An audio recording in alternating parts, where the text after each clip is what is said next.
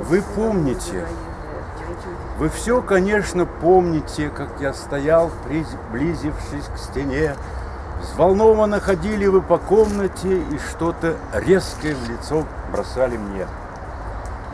Вы говорили, нам пора расстаться, что вас измучила моя шальная жизнь, что вам пора за дело приниматься, а мой удел катиться дальше вниз. Любимая, меня вы не любили. Не знали вы, что в сонмище людском я был как лошадь, загнанная в мыле, пришпоренная смелым ездаком.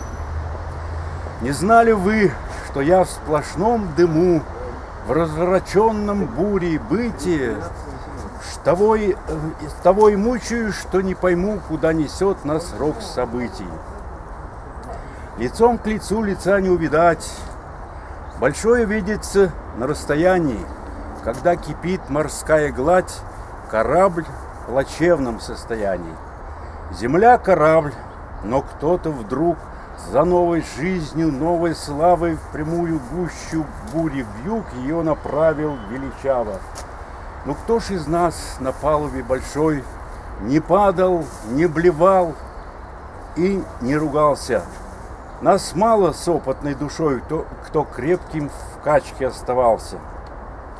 Тогда и я, под дикий шум, но зрело знающий работу, спустился в корабельный трюм, чтобы не смотреть людскую рвоту. Тот трюм был русским кабаком, и я склонился над стаканом, и не жалея ни о не ком страдая себя ни о ком, сгубить в, уга- в угаре пьяном. Любимая, я мучил вас, у вас была тоска в глазах усталых, но я пред вами на показ себя растрачивал в скандалах. Но вы не, не знали. не знали, что в, в сплошном дыму, в развращенном буре бытии с того и мучаю, что не пойму, куда несет нас рок событий, в какую пропасть и в какую тьму.